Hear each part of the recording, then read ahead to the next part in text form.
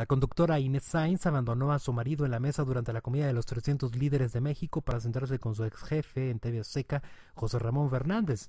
De acuerdo con la columna de Punto G de Diario Reforma, Sainz se acercó al conductor de ESPN y se sentó a su lado durante casi una hora. Al parecer es una señal de que terminó la rivalidad que hubo entre ellos. Mientras que la conductora de TV Azteca platicó con su ex jefe, su esposo se quedó solo esperando en la mesa hasta que ella concluyera su conversación. Si quieres recibir la información del mundo de la farándula, los deportes y los espectáculos, suscríbete al canal. Es gratis. Da clic en suscribir y al momento estarás informado de lo que sucede a nivel mundial. Suscríbete.